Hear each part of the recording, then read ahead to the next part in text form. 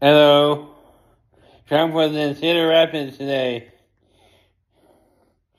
And just watched him. It's pretty awesome. And, um, said something about his charges. They're badge of honor. That's what I consider mine. Badge of honor. To be charged, you know, twice.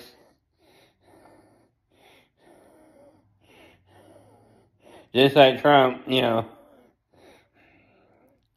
So, I mean, it is what it is, you know?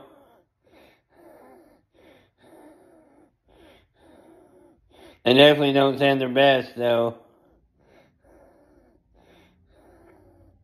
Because they're all misdemeanors, you know, mine. But Hamas attacked Israel today, so we gotta stand with Israel, so that doesn't fit the Trump supporters are Nazis um, narrative.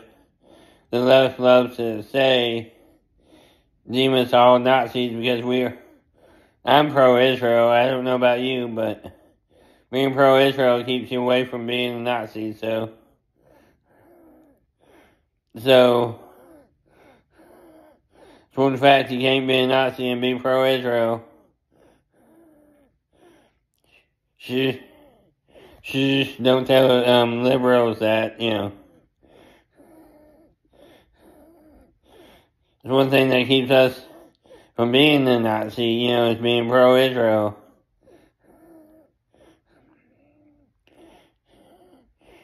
Standing with Israel. So, as a Christian faith,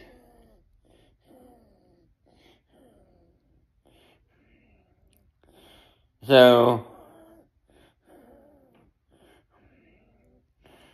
yeah, stand with Israel, our ally, and um,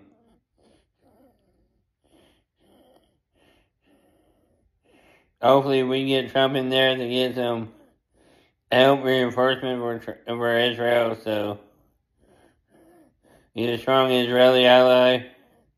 Fuck Hamas, you know. Pro Israel as a Christian faith. Church tomorrow, we should stand with Israel.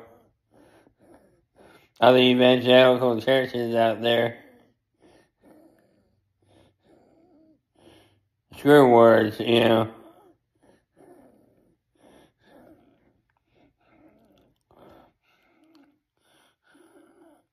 That should be number one topic is Israel. Sunday morning, you know.